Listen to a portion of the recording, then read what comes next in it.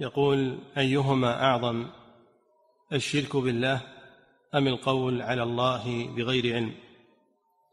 يقولون القول على الله بغير علم أعظم لقوله تعالى في سورة الأعراف قل إنما حرم ربي الفواحش ما ظهر منها وما بطن والإثم والبغي بغير الحق وأن تشركوا بالله ما لم ينزل به سلطانا وأن تقولوا على الله ما لا تعلمون.